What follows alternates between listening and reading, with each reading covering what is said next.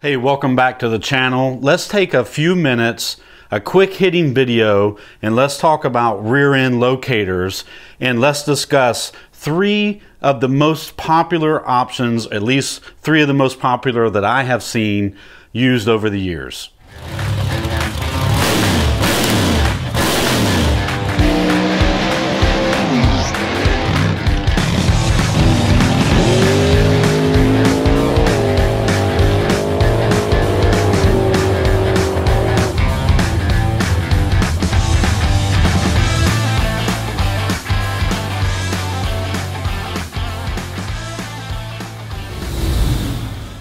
Hey, welcome back to Kevin Wilson SBC. I'm excited today to do another quick hitting video and I want to talk about rear end locators. Before we even get started, if you have not watched my video on how to make sure your chassis is square, please pause and go watch that video. Huge shout out to Mike Lucas, a Pro Mod, Pro Nitrous um, drag racer out on the West Coast has graciously worked with me on many aspects of suspension tuning in some of my videos. Mike Lucas has hands-on years of experience tuning Pro Mod cars and Pro Nitrous cars. And he sent me this, the string method, as he calls it, on making sure your chassis is square. And since I have began using this method, it is amazing how many cars I've worked on hands-on in the shop where the four link brackets are not square to the center line of the chassis. And most racers will use those chassis brackets to measure and get their rear end square. But if the chassis brackets and the main cross member is not square to the center line of your chassis, and you square your rear end off of those chassis brackets or that chassis cross member, you are unintentionally or unknowingly introducing rear steer into your rear end. So let's talk today about how do we want to keep our rear end located. What I've done here is I've got a, a, a, three list. Now there are more ways to locate a rear end other than these three options, but these are the three options that I have seen the most of and I have the most hands-on experience with. My number one preference, what I would prefer to see hands down is the wishbone locator.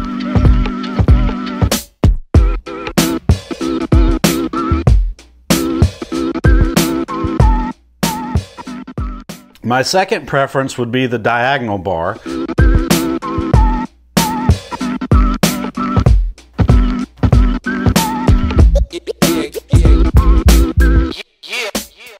Which on the 53 Studebaker, it's running a wishbone. The 48 Ford, we ran a diagonal link bar. And the last time we took the 48 out, we actually had two diagonal link bars, one right below the other, and going opposite directions. Three, my least favorite rear end locator for drag racing is the Panhard bar. So let's start with number three and work our way up the list. I'm probably going to spend a little more time on the Panhard bar because of the challenges it presents. And what I normally see on the F bodies are the rear end has been lowered, so the rear of the car has been lowered, which actually helps the Panhard bar, and let's talk about that for a minute. So let's assume uh, this is your rear end. Now remember, Kevin's not an artist. But let's assume this is your rear end in the car. And this is the chassis mount point. So normally on the F bodies, we have a chassis mount and we have a mount out here on the end of the rear end and we'll have a panhard bar that does that. Now obviously it doesn't bend, it's a straight bar. These are your axles per se. And what you have with this panhard bar is some interesting dynamics. Now, I have seen some custom back half cars come in with panhard bars.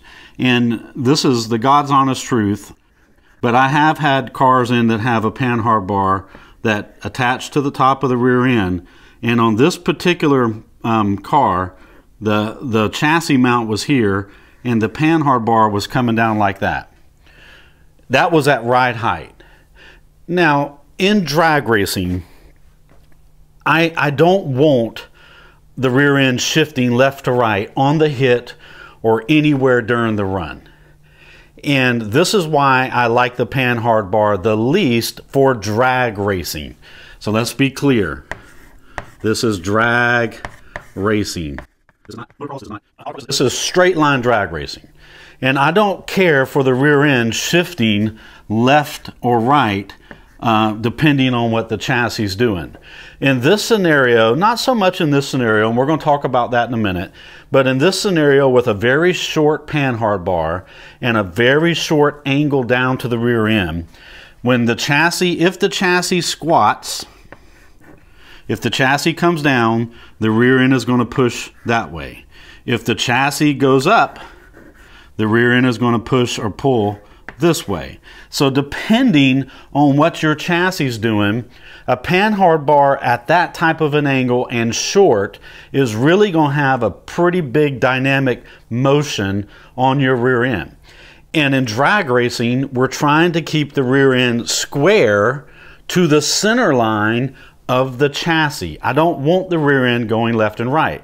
I want the rear end to be able to go up and down freely without binding. I want it to um, have squat or separation and I want that to be very free if your rear end will not raise and lower with the frame supported and you have binding going on and the rear end can't freely articulate on the on the pivot points then you need to stop and find out what's going on.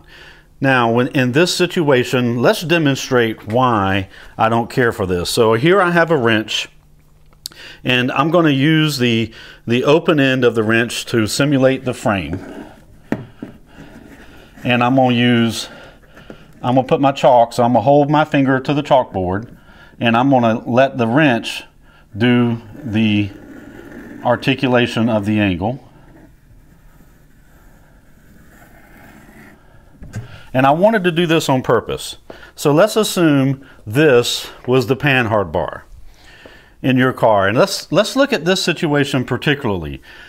It's important to note the shorter the panhard bar, the more extreme these left and right movements are. Also, the, the shorter and the greater the angle from parallel. And parallel, I mean parallel to the surface of the ground and parallel to the rear end. Let's look at this situation. You're actually down here on the arc. And when you're further on one end or the other of the arc, the movement, because it's a fixed length, from here to here, that movement is pretty big. So when you're on the extreme of the arc, either with the panhard bar downhill, a panhard bar that's on a hard rake, a hard angle down, and I'm talking like 30 degrees or greater. This drawing actually is probably close to 45 degrees down. You're already in a very lot of movement of the arc. So if this rear end were to separate and go up two and a half to three inches, you're going to have some pretty extreme movement of the rear end shifting underneath the chassis on the driver's side. That's not a good thing. When the rear end shifts left or right, you are fundamentally moving weight or taking weight away from one wheel or the other. And at 135 to 140 miles an hour, that's really dangerous. Not only that, on the other end, when you lift and the suspension settles, the rear end is going to come back. And the last thing you want at 140 miles an hour is the rear end shifting two and a half to three inches underneath your chassis. Okay, Kevin, I have to run a panhard bar. I don't have the budget for this other stuff. I'm trying to make the best of what I got. If you're going to run a panhard bar, Go with as long a panhard bar as you can get because you're minimizing the extreme movements on the edges of the arc. And you also want to get your panhard bar as level as possible to the rear end level, which should be level to the track or the street or the ground. And here's why. When you have a panhard bar that is level, and to do that, you would either raise this point up or this point down or both and get the bar level like that. And when you're level, then the movements up and down are not as extreme as they are at the outer end of the arc. The further down the arc you get, the more movement left to right that you're going to create. With a level Panhard bar, you are definitely minimizing the amount of movement. So if you're going to run a Panhard bar, go longer. If you can, if you can get the mounting point on this end and get it up, that is much better than having a long Panhard bar at a big angle down. So the key is with a Panhard bar, get it level and get it in the center of its arc. And that means you may have to fabricate some brackets. And, but you can keep your Panhard bar in drag racing. Here again, it's my least favorite option, but you can make it work with the right mods. Now, diagonal link bar. We've run it successfully. I've heard a lot of guys really speak negatively of the diagonal link bar. They feel like it's just not for high horsepower applications. Well, I can tell you straight up, and you can see some of the pictures I'm putting on the screen for the 48. You're talking about a 3,500 pound car with me in it. You're talking about me leaving with 1,100 foot pound of torque with a turbo 400 2.48 to 1 gear, first gear, and a 3.89 rear gear ratio, and a torque converter that multiplies torque extremely well. This is a Hughes Pro Series custom built torque converter for the 48 Ford.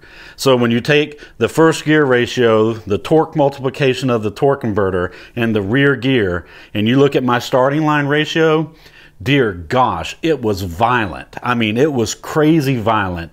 And the single diagonal link bar, which I believe my bar was right around 24 inches in the 48 Ford, 28, 24 inches long, thick wall, steel tubing. It was not even chrome moly. It still isn't chrome moly, but it's 24 inches, half inch thick tubing diagonal link bar that, that runs from the, the, the driver chassis four link bracket to the passenger rear four link bracket and, and bolted in and it absolutely held the 48 Ford with all the abuse we put to that rear end. Not one time did that bar bend or pull the threads or compress it or anything silly. The only time I bent that diagonal link bar was when I broke a, a drive shaft and the drive shaft beat the four the diagonal link bar to death and put about a half inch droop bend in it. That bar got threw away. I talked to Checker Flag Racing. They made me another bar, half inch thick wall steel tubing put it back in. So that's the diagonal link bar. That's a great option in my opinion. And I've seen a lot of stock Mustang guys with the shorter triangulated upper link bars. And when, when you have the A bodies and the GMs and you have the G bodies and B bodies and then you have the triangulated Mustang four links, those triangulated four link upper bars are what you use to center the rear end. However, I've seen a lot of guys run a diagonal link bar with the triangulated rear ends just as added measure and to keep that rear end square in the center line of the chassis. I like that idea. And if I'm running a diagonal link bar with the triangulated Mustang uh, short upper arms or the A or G body upper arms, with a diagonal link bar in, I can use the the passenger upper bar to actually add a little bit of preload. Now you got to be careful, you can't do a lot, and that can be argumentative, but I have done it. Wishbone. The wishbone locator to me is the most favorite, and I work with it the most on pretty serious chassis cars, um, whether they're square tube or round tube chassis cars, if they're professionally built, nine times out of 10 or 9.9 times out of 10, they're going to have a wishbone locator. The 53 Studebaker has a wishbone locator, and it's very important that people understand on that wishbone locator, and I'm going to try to have some pictures on the screen while I'm talking, but on the wishbone locator, that center rod is floating in the shaft of the wishbone. That rod has to articulate in and out of the shaft as the chassis moves, either compressing or extending, that wishbone has to slide in and out of the wishbone shaft. And it's also important that you don't have a lot of slop left to right. You need a pretty snug um, fit on that shaft, and you don't want it to have a bunch of left and right movement. If you do, I would pause and consider some new bushings or, or replace the wishbone altogether with your measurements. There are plenty of people out there. Merillat Racing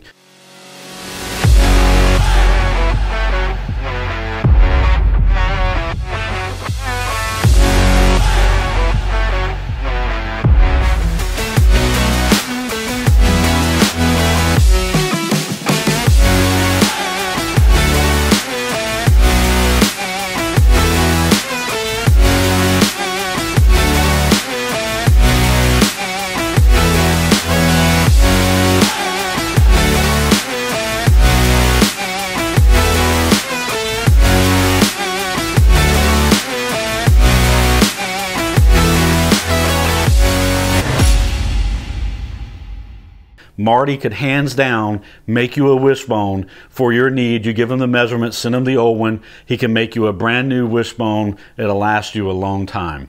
But the wishbone is definitely my favorite. And on the on the 53 Studebaker, our wishbone um, comes off the rear end. So it has two rear end mounts, and it comes off the rear end to a center tube and then the, the, the piece that goes in here mounts to the chassis via a heim joint. And then this articulates in and out of the wishbone. These two mount to the rear end. And these are heim joints all the way around. And I can move these heim joints to locate the rear end left or right in the chassis. But the wishbone by far is my most favorite method for locating a solid axle rear end inside of a race chassis and keeping it square with the center line of the chassis. Guys, that's it. Those are three ways to locate your rear end and keep it centered. The one that really bites a lot of people is the Panhard bar, and we beat that horse to death. I'm not gonna go through that again. A very good option is the diagonal link bar, hands down, works great. But if you have the budget and, and the more horsepower you go, then the wishbone is absolutely, to me, the favorite way to keep the rear end located and centered in the chassis. And remember, we're trying to do these three things because we want to go fast, we want to go straight, and more importantly, be safe. Good night, guys.